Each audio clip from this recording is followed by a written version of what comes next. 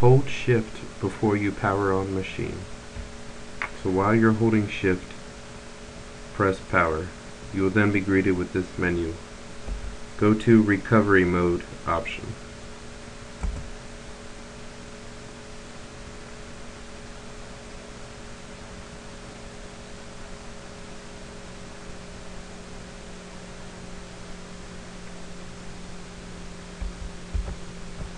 What you want to do to fix the computer is repair broken packages.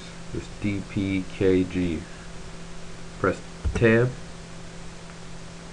then you're selected the red on the OK button, press enter.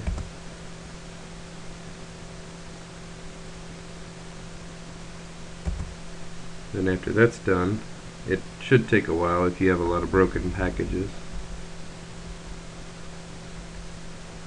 and then you're finished. You should be able to resume the normal boot.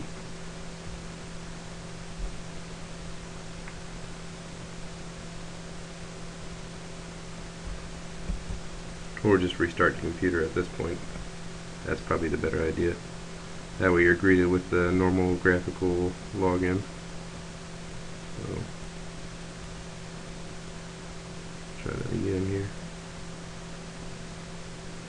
So after you do repair,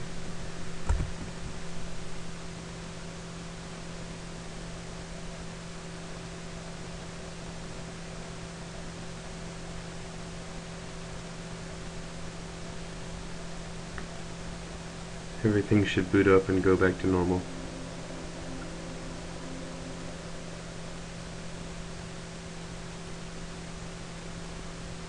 And you're done.